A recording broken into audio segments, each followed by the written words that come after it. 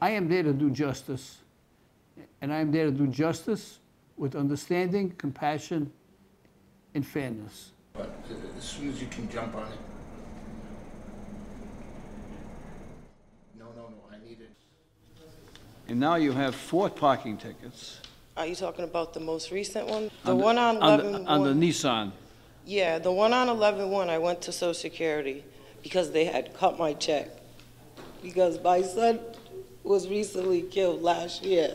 So they cut my check because he had owed money. Who? My son Oh. was killed March of last year, right? So I was his rep payee. So they took my money because he had owed money. So I had to go to Social Security to fix that matter. When I came out, my, I had a ticket.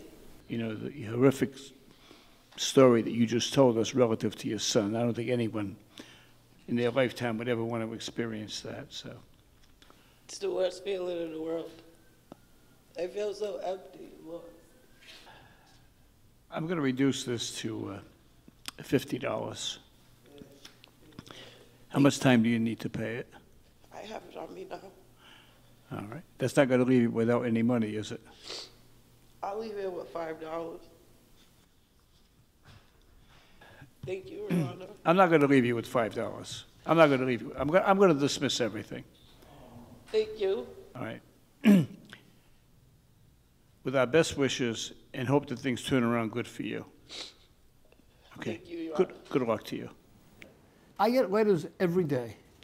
People sending me letters saying, please continue to treat people with understanding and compassion. And many people, because of my treatment of people who come before my court, send money to my court saying, please, use this to help someone else. I have a letter from a woman named Angie Chesser. And she said, I got a small bonus from where I work, and I would like to donate $100 to help somebody else. And she sent, actually sent cash, so we're going to use this to help pay for your fine. What do you say about that? I'm speechless. It says that there were an awful lot of kind, Thank you. wonderful people in life. Many times, even though I am helping people, the city is still getting money.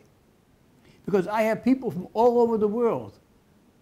I have people from Iraq who sent money, people from France, from Italy, from China, from Russia, all over the world, and the United States. Send in checks saying, please use this to help someone else. So we have touched the heart of people all over the world. Thirty-two dollars. Thirty-two dollars. My father was an immigrant from Italy. We were very poor.